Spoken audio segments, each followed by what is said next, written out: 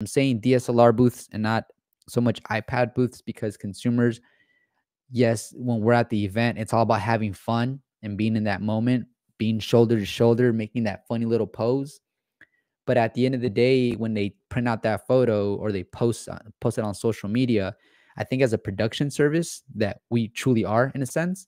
we should be providing them with higher quality stuff because eventually they're going to compare their production to someone else's and they're going to see like wait a minute there's a gap here.